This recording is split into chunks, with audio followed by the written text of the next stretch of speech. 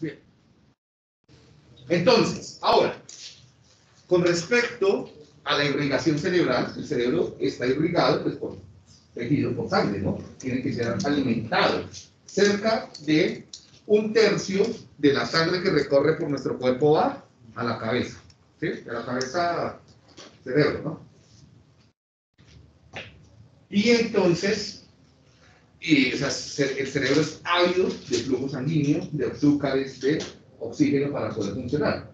¿sí? ¿Por dónde llega toda esa sangre al cerebro? Pues llega por dos arterias. Posteriormente, a través de la arteria basilar y anteriormente por la arteria o las arterias carótidas. Tenemos las carótidas y tenemos aquí la arteria basilar. ¿sí?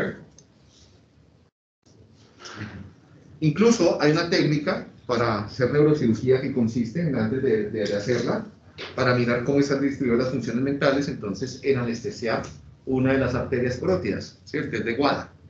Ah, ¿Te acuerdas que lo vimos? Sí, sí. Es el paso anestésico por acá. Bien. Entonces las carótidas, ustedes las conocen, ¿no? Las más famosas yugulares. ¿Sí? Es, ustedes son ávidos de películas de acción donde, ¿cierto? Eso sale, se cortan las carótidas. Pues si no llega sangre al cerebro, ¿qué no? ¿Listo? Eh, bien, entonces dos entradas, una entrada anterior y una entrada posterior. ¿Hasta ahí estamos claros? Pasa.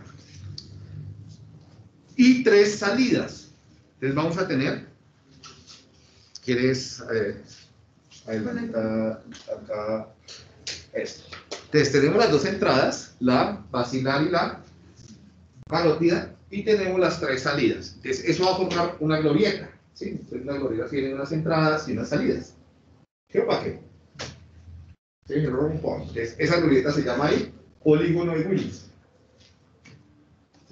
Este, en el polígono de Willis, que queda en la base del cráneo, o sea, de aquí para el fondo, como unos 7 centímetros, de la punta nariz hacia el fondo, ahí es donde se asienta el cerebro, ¿no? Se le llama la silla turca también. Ahí es donde se irriga, donde llega toda esta irrigación. Ahí también se posa el hipotálamo, la, la, la glándula hipófisis, ahí sí. Entonces tenemos tres arterias de salida que van a irrigar todo el encéfalo. Tenemos la arteria cerebral posterior, la arteria cerebral medial y la arteria cerebral anterior. ¿Sí? ¿Está claro lo que están en la casita? Ahí yo les dejo un video en YouTube para los que lo quieran ver, donde explican eso con más detalle los que les interese, ¿no? El cerebro, arteria cerebral posterior, medial y anterior. Bien, ¿pasa? Entonces, aquí vemos una vista basal o inferior del encéfalo, que nos lo dejamos- nos hemos mostrado. Acá tenemos las arte- la arteria vertebral, acá tenemos la basilar, las carótidas, y aquí sale la arteria anterior, la posterior y la medial. ¿Sí? ¿Pasa? Bien, déjame ver. Entonces, ustedes quieren saber con más detalle qué es lo que irriga cada, cada arteria, acá está. Entonces, comencemos con la arteria cerebral posterior. ¿sí? Entonces, la arteria cerebral posterior es esta. La posterior sería este colorcito. Acá vemos que irriga principalmente la cara medial y lateral de la corteza occipital, del lóbulo occipital, esta parte de acá, ¿sí? Incluso alcanza a cubrir esta porción más posterior del parietal y irriga estos componentes ventrales y mediales del lóbulo temporal, incluyendo el hipocampo, la amígdala, el tálamo, el hipotálamo, ¿sí? Acá está, lo que les acabo de decir. El esplenio, la corteza retroesplenial, etc. La arteria cerebral anterior va a irrigar los componentes mediales del lóbulo temporal, digo, del lóbulo frontal y del lóbulo parietal. ¿Sí?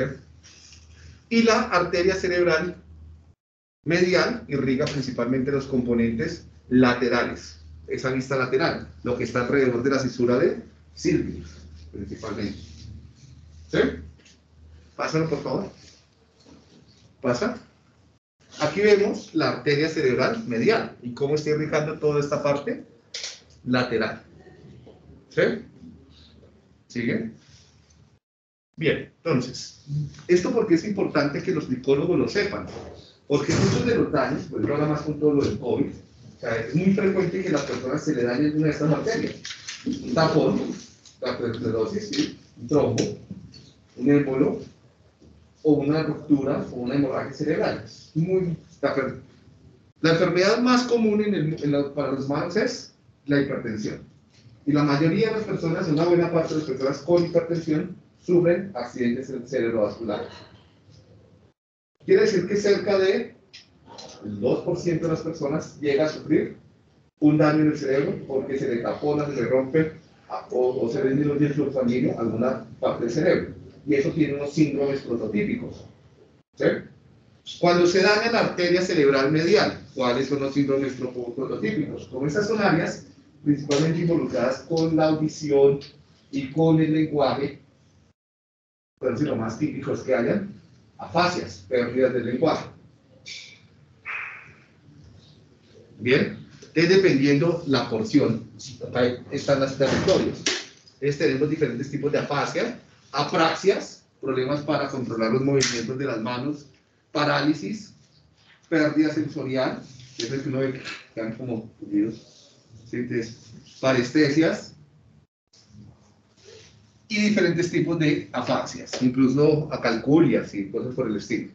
¿Sí qué pasa, por favor? Cuando se daña la arteria cerebral medial, lo más típico, que ya son los componentes, eh, la, eh, digo, la, la, la, anterior, qué pena, la anterior, medial, la anterior, que son los componentes mediales, lo más típico es tener, depende, si es, es hacia adelante o hacia atrás, problemas de reconocimiento de objetos, de reconocimiento del propio cuerpo, ¿sí? comenzar a aborrecer el propio cuerpo, quitarse los miembros por el nombre que no son de uno, cosas así por el estilo, ¿no? cosas bien, bien raras. Inatención, demencias, ¿sí? eh, impulsividad, agresividad, hipersexualidad, una cara como, mamá, ¿sí? todo eso les puede pasar si se da en el cerebro. Bien, pasa. Y la arteria cerebral posterior, si se llega a dañar, en muchos casos, pásalo por favor lo que pasa, lo, lo que podemos tener son síndromes como agnosias, que no podemos reconocer objetos, o ceguera cortical, o, o no podemos reconocer colores, acromatopsia, prosopagnosia, cosas así por el estilo. Ah, lo que estamos viendo con ustedes. ¿Sí? Ese tema chévere. ¿No? Bien, si quieres para ahí esa grabación. ¿Cómo van? ¿Ahí está fácil?